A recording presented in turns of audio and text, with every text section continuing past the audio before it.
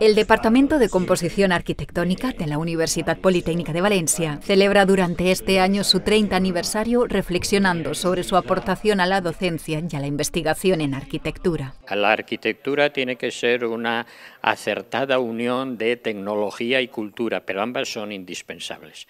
Entonces nuestro papel es velar por la historia, la reflexión crítica, la innovación en arquitectura y eso siempre lo hemos procurado hacer y siempre hemos tenido catedráticos importantes desde Violeta Montoliu o Joaquín Arnau que se han ido jubilando. Comenzó su andadura en 1985, integrado en el entonces denominado Departamento de Composición y Proyectos Arquitectónicos. Años después, en 1989, se dividiría para constituirse como Departamento de Composición Arquitectónica. Por aquel entonces, 12 profesores integraban el departamento, mientras que en la actualidad son cerca de una treintena de personas las que lo componen. Sus docentes imparten clase en las escuelas de arquitectura y en la de caminos, canales y puertos, pero también en la Escuela de Ingeniería del Diseño y en el campus de Alcoy. Ahora celebramos nuestro 30 aniversario como Departamento de Composición Arquitectónica eh, autónomo que no es que haya muchos en España, o sea que es cierta solera la que tenemos ya con estos 30 años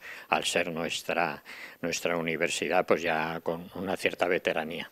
Para conmemorar sus 30 años, el departamento ha organizado el tercer encuentro de las áreas de conocimiento de composición arquitectónica de España. En él se han dado cita destacados profesionales dedicados a la docencia e investigación procedentes de todas las universidades españolas. Por nuestro 30 aniversario acogemos a todas las áreas de conocimiento de composición arquitectónica de España. Entonces va a ser un, encuentro que el propio, el propio aniversario ha conseguido que sea pues muy El programa del 30 aniversario del Departamento de Composición Arquitectónica de la UPV incluye también el Seminario de Patrimonio Arquitectónico para el Desarrollo, previsto para el mes de mayo, además del Congreso Iberoamericano Ciudad Sostenible, un evento que tendrá lugar en noviembre y que contará con el apoyo de ONU Habitat, el programa de Naciones Unidas que trabaja por un mejor futuro urbano.